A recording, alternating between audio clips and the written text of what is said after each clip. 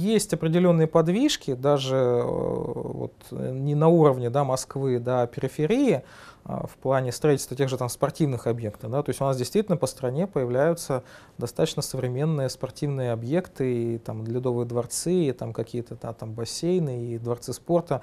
Да, вот иногда даже в районных центрах это, это можно наблюдать. Да? Там и некоторые госкорпорации, да, там, вот, националь... претендующие на звание национального достояния, не будем, ну, так сказать, называть их, а, вот, они тоже делают э, определенные вещи здесь полезные в этом направлении.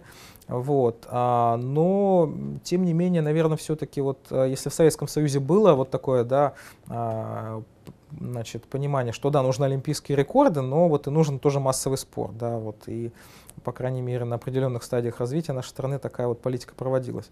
То вот сейчас, наверное, как-то этого меньше, меньше понимания есть. То есть вот все, вне, все весь приоритет, значит, к медалям, переживания по поводу медалей, да, но вот, наверное, все-таки это не главное, да, то есть это, конечно, хорошо, это гордость, вот, но в целом, да, задача, так сказать, что как можно больше людей, да, про, значит, поведали здоровый образ жизни, да, вот и занимались там тем, чем, что, чем, чем, тем, что им нравится.